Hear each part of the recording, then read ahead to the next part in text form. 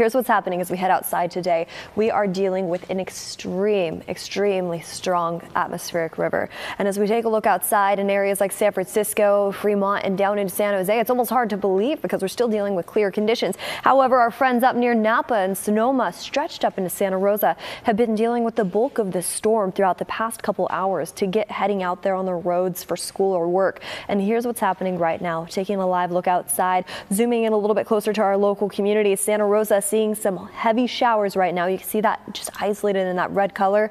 Heavy showers starting to fall along our coastline too. We'll continue to keep a close eye on our friends down in the Santa Clara Valley.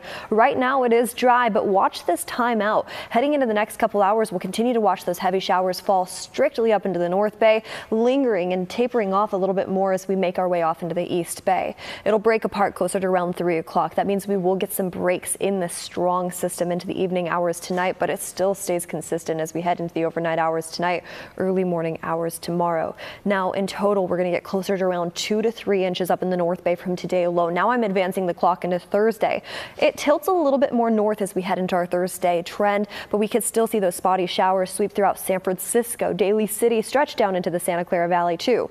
Now we're into Friday morning. This exact same atmospheric river still bringing in heavy amounts of showers for us into those early morning commute hours, sweeping throughout the bay, clearing up on the back end as we head into Friday. So let's time this out when it comes to total rainfall amounts close to three inches up in the North Bay near Napa just by this evening alone. Now I advance the clock into Friday, closer to around four inches up there, at least in certain communities. And we will pass four inches as we head into Friday evening, just around nine o'clock in total from this rainstorm as we head into this weekend's forecast.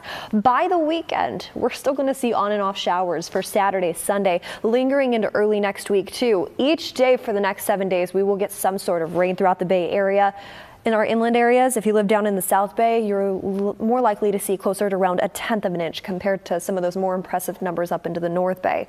We make our way over into the Bay. Notice how those temperatures don't change at all. If you live near San Francisco, if you live all the way off into the East Bay, we have very similar temperatures into this week. The other thing I want to mention too, winds anywhere up to around 30 to 40 mile per hour winds are expected as we dive into the next couple days. So be very careful out there. If you have outdoor objects that you don't want to be blown around into the neighbor's yard, today is the day to just secure them before you head out the door off to work or off to school. First alert weather right now. Let's take a live look at the pier in Pacifica where strong winds and big waves have started to pick up in that storm as that begins to roll in. Let's check back in with meteorologist Jessica Burch from our virtual stu uh, uh, view studio. Uh, Jess, it kind of depends where you are in the Bay Area, it, whether or not you're getting hit with this. That is so true, Ryan. I mean, gosh, we're talking about the South Bay, still at zero inches right now, at least near San Jose for our rainfall totals. Yet we have seen such impressive numbers up into the North Bay, close to around two inches. Our daytime highs today pretty much all sitting in the 60s, despite the fact that this rain is starting to fall hard for our friends up in the North Bay.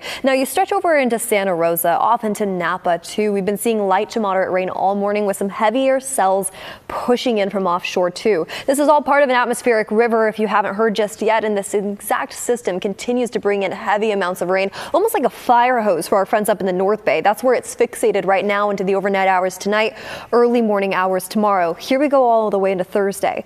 Our morning commute, if you live up in the North Bay, will still be wet, but it's a lot more dry for our friends down into the Santa Clara Valley. I'll show you the difference in those numbers in just a second, but heading into Friday, all of us will get splashed as we head into those early morning commute hours. So it's important to note that in total, we're going to see heavy amounts of showers heading into this weekend. Just by Friday afternoon, close to five inches forecasted in total from this week up into the North Bay, closer to around a half an inch all the way down into the Santa Clara Valley. But here's the thing, we take a look at the storm and where it's really fixated.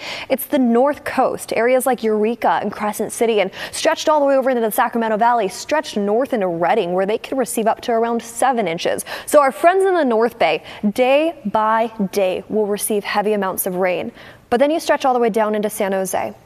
We could see some light showers in the forecast today and tomorrow, but not nearly as much as our friends up in the North Bay. So the storm is really fixated in on them, and we continue to keep a close eye on those rainfall totals heading into the rest of this week. That's why it's hard when you take a look at the next seven days on our inland forecast, showing showers, rain, showers, rain heading into this weekend and early next week. It's important to note that this atmospheric river is impacting all of us differently, but it's also important to note that you could help out your neighbors, especially with sandbags heading into the next couple days or just checking in on them. And of course, it's windy too. Secure securing those outdoor objects as soon as possible so they're not blowing all over the neighborhood.